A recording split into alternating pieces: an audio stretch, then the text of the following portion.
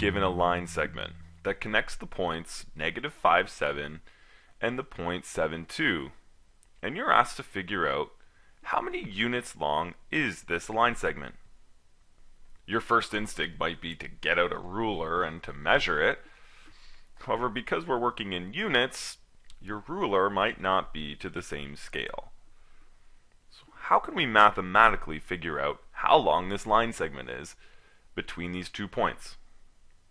One advantage to working with the xy coordinate plane is that although we can't look at a line segment that is diagonal and exactly measure how long it is by looking at it, what we do know is that each block is worth one unit.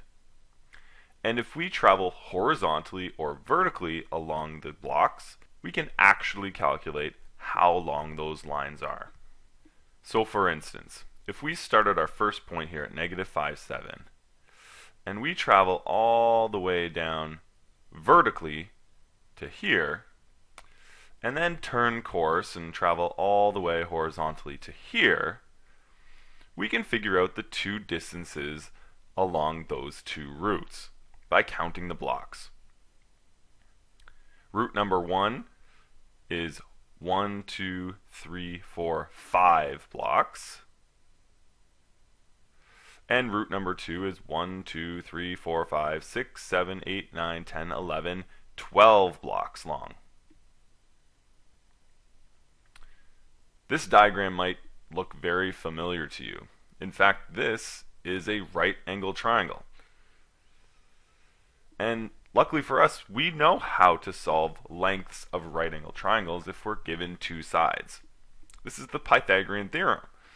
Pythagorean theorem, we know, states that the hypotenuse side, or C side, squared equals the sum of the other two sides squared. So a squared plus b squared. We call those the legs. Well, how do we figure out the length of the hypotenuse here? Let's use 5 and 12 as our two lengths for our legs, and we'll solve for c. c squared equals 5 squared plus 12 squared. 5 squared is 25, and 12 squared is 144. So we end up with c squared equals 169. So what is the value of just c by itself? Well, we'll take the square root of both sides. And we end up with c equaling 13. 13 units exactly. And that is the length of that line segment from point 1 to point 2.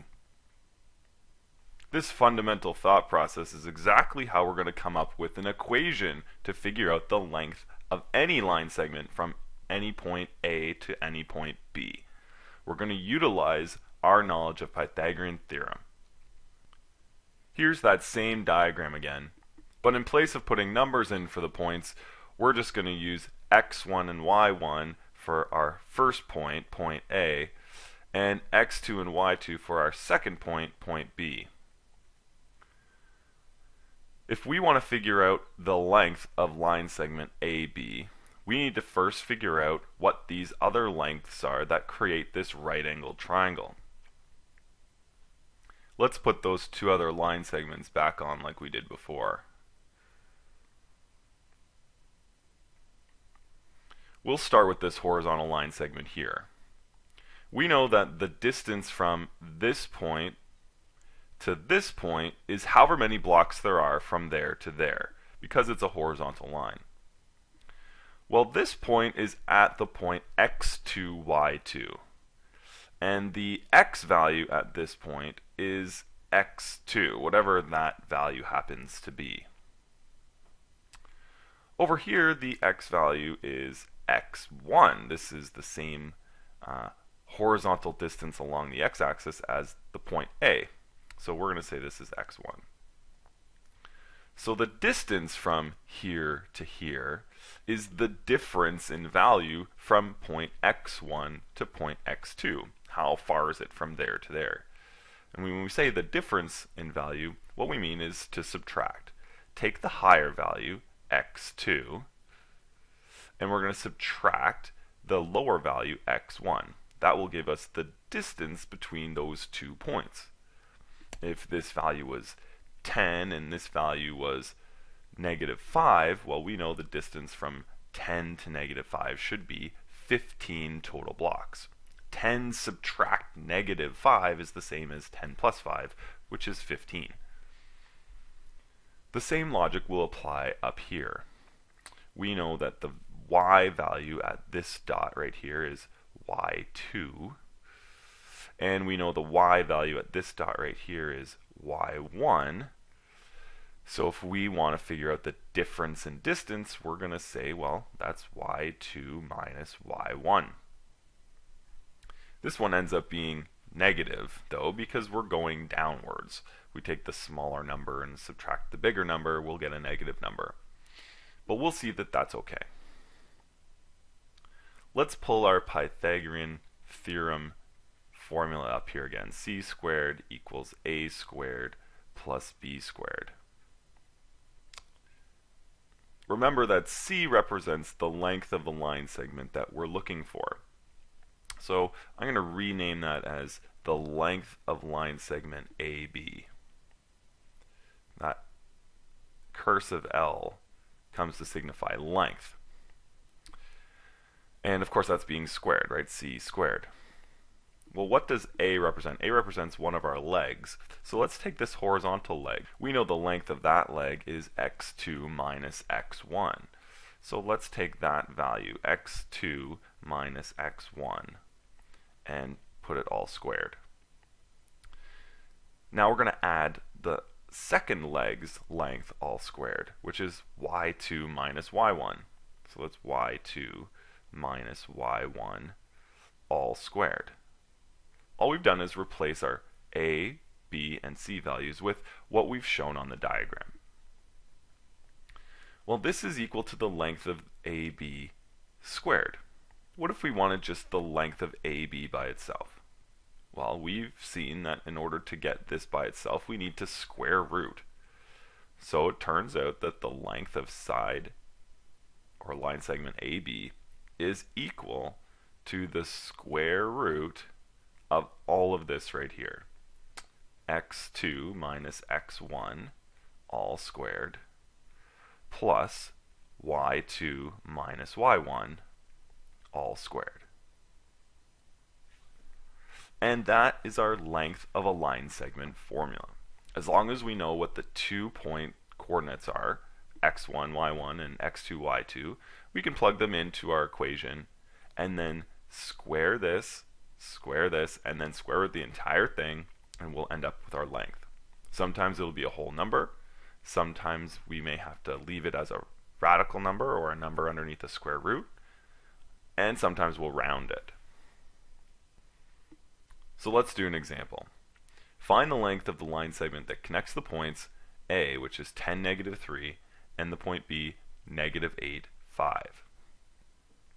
Let's first label our points as x1 and y1 and x2 and y2. It'll be easier for us to see these values once we plug them into our formula.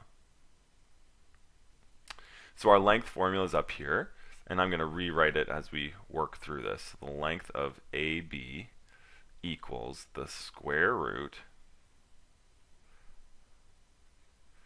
And now let's plug in our values. So x2 minus x1, x2 is negative 8, x1 is 10, so minus 10. That's all going to be squared. Whatever that answer is, it'll be squared. Plus y2 minus y1. y2 is 5, and y1 is negative 3. So we're going to be subtracting negative 3. I'm sure to put that in brackets because we're subtracting a negative. We don't want to get confused as to what we're go what's going on. Well, negative 8 subtract 10 is negative 18. So this is going to end up being the square root of negative 18 all squared plus 5 subtract negative 3. Subtracting a negative is adding. So 5 plus 3 is 8. So plus 8 squared. Remember before we said that one of the legs ended up being negative. In this case, this leg is negative, negative 18.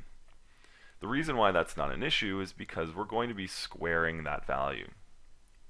Any negative or positive number squared will end up being positive. So the fact that we have negative 18 won't make a difference when we square it. Negative 18 is a tough number to square, so what we're going to do is we're going to put it into our calculator here. And then when we square it, we get 324. So 324 is negative 18 squared. 8 squared is a bit easier, that's 64. And so we'll add those two numbers together. 324 plus 64 is 388. So the length of our line segment is the square root of 388. And if we leave it in this form, we say that this is the exact value. It's exact because we haven't rounded it to its nearest tenth or its nearest 100th. The square root of 388 is a number. If you type that into your calculator, you're going to get a decimal number. But if you're asked to leave it exact, you would leave it in this form. If you're asked to round it though, now you're going to need to get your calculator back out to figure out what is the square root of 388. Well, doing that math, we see that the square root of 388 is 19.697 and it keeps going. So if we round this to the nearest tenth, we'll see that it's 19.7 units. So, or the length of AB is equal to 19.7 units. And because this is now rounded, we put this dot over an equal sign. That tells us that this isn't the exact value, 19.7, it's a rounded value. And we call this an approximate answer. So it's not an exact answer, this is an approximate answer. If a question asks you for an approximate answer, you'll need to round it. So finding the length of a line segment is as easy as using the length of a line segment formula. So get your two points and plug them in, and then determine whether or not you need an exact answer,